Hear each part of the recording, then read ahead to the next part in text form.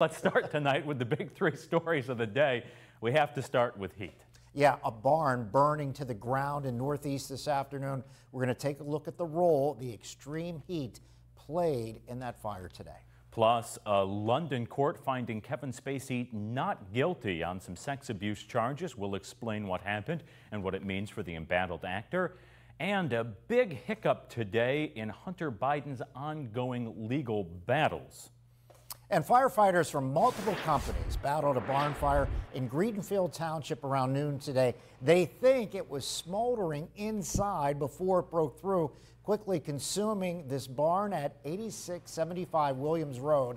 The house next to the barn was saved, but the flames sparked a grass fire that spread quickly. In these conditions, Greenfield firefighters, with help from several neighboring companies, fought the blaze and took turns getting relief from the hot conditions. There were no animals kept in the barn, just mowers and equipment. Meanwhile, a plea deal between President Joe Biden's son Hunter Biden and the Justice Department suddenly might not come together after all. It's on hold after a court hearing today.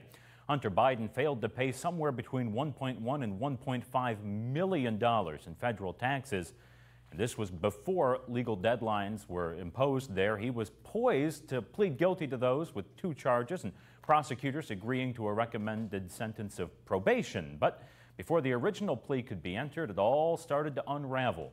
A revised agreement managed to make its way to the judge, and the judge said, no, we need to examine this further, so plans are on hold there. We'll see what it means.